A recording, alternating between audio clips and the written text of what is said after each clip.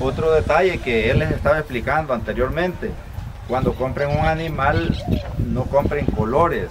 El color no garantiza nada.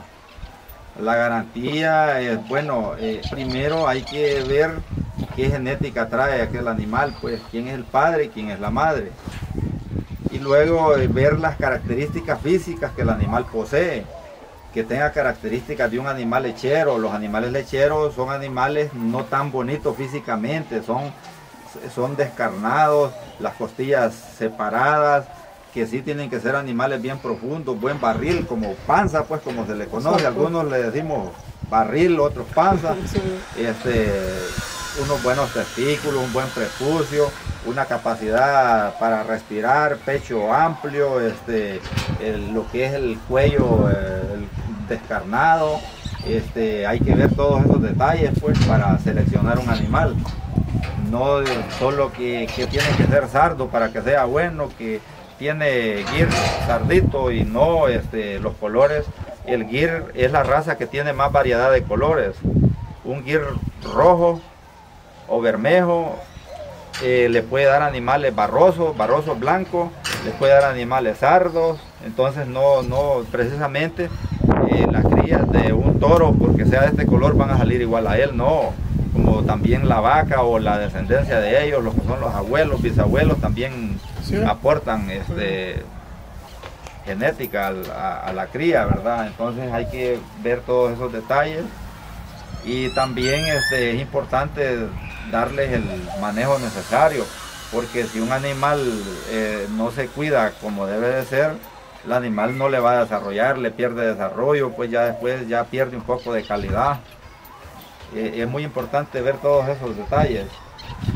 Todos los animales que están por acá, don Jovel, están a la venta, para que los amigos quizás les escape algo. Sí, solo tenemos uno que es un cliente que, ya lo tiene reservado, pero la mayoría están disponibles.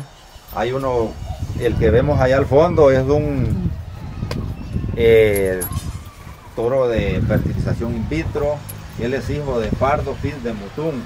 A mí en lo personal me gusta mucho porque es un animal de buen tamaño que normalmente el gir no es tan grande, ¿verdad?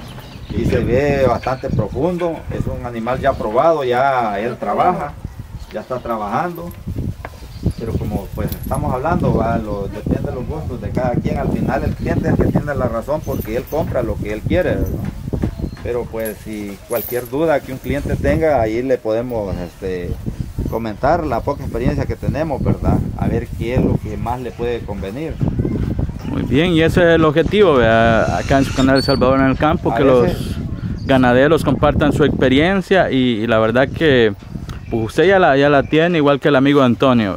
Sí, a veces otra, algunos clientes o personas que preguntan eh, se quejan porque tal vez uno es un poco algo eh, el carácter, pero el detalle está de que a veces pasa de que hay personas que le preguntan una vez luego les manda la información uno y ellos ya ni le contestan, ya al, mes le vuelven a estar preguntando por otro animal y así, así, entonces ya eso no es nada de formalidad, pues eso ya es como por estar perdiendo tiempo. Y los que hemos trabajado con ganado, ya se sabe el trabajo que lleva de estar en esto todos los días, pues entonces, eh, pues es de tratar de, de cuando se decide hacer algo, hay que hacerlo, pues no solo por estar ahí, porque hay personas que ya lo hacen por estar perdiendo tiempo, pues y eso no, es verdad, no es obligación comprar ni nada, pero este, cuando uno no tiene idea de adquirir algo, pues mejor no, ¿eh? Mejor no, pues porque, pues sí, yo así soy en lo personal, si no tengo idea de comprar una cosa, mejor ni hago bulla, pues porque siento que es perdedera de tiempo. Ok. Ajá, pues, otros también hacen tratos. Cuando uno va a hacer un trato, tiene que pensarlo bien primero, si lo va a hacer o no.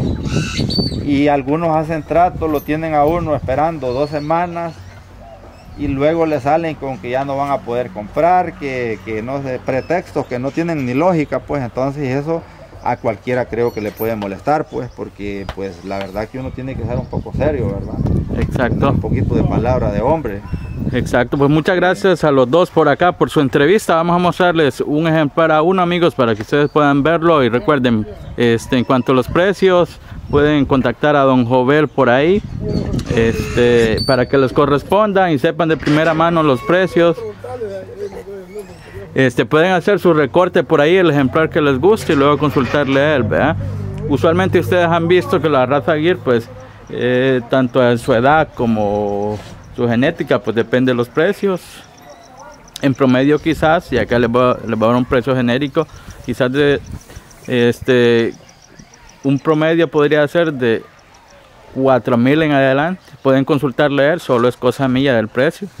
Pueden consultar leer ahí en un mensajito, ¿verdad?